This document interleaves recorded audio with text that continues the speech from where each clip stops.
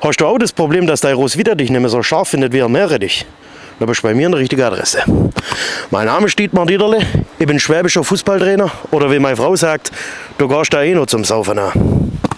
Komm zu uns in den Verein. Wir sind der ersten FC Mauldash. Wir haben teambildende Maßnahmen und wir sind wirklich super unterwegs. Ich sag's dir, wenn du wieder deine breite Brust möchtest, wie früher, und aussehen möchtest, wieder rein Goschling, dann bist du bei uns richtig. Die elle wichtigste Übung, die wir jeden Tag machen, die zeige ich euch jetzt.